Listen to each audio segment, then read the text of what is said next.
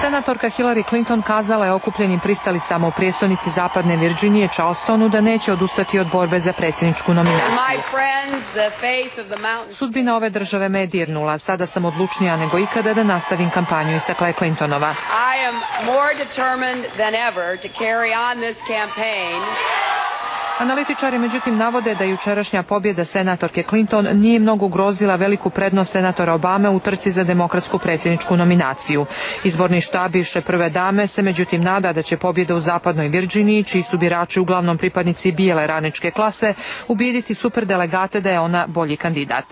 Njihova podrška je ključna s obzirom na to da ni jedan kandidat vjerovatno neće osvojiti dovoljan broj delegata kako bi nakon pet preostalih primarnih izbora direktno osigurao stranačku nominaciju. Obama je u međuvremenu nastavio kampanju u Mizuriju gdje je ponovo kritikovao republikanskog kandidata Johna McCaina, povezujući ga sa, kako je naveo, neuspjelom politikom Bushove administracije. Protekle dvije decenije podržavao je politiku koja je sav teret stavila na radničke porodice, Njegov jedini odgovor na probleme koje je izazvala politika Georgea Busha jeste da joj je treba omogućiti još četiri godine kako bi doživjela novi neuspjeh.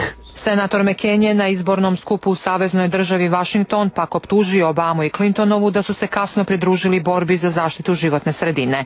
Također zatražio da se ograniči emisija štetnih gasova što predstavlja oštar raskid sa politikom predsjednika Busha.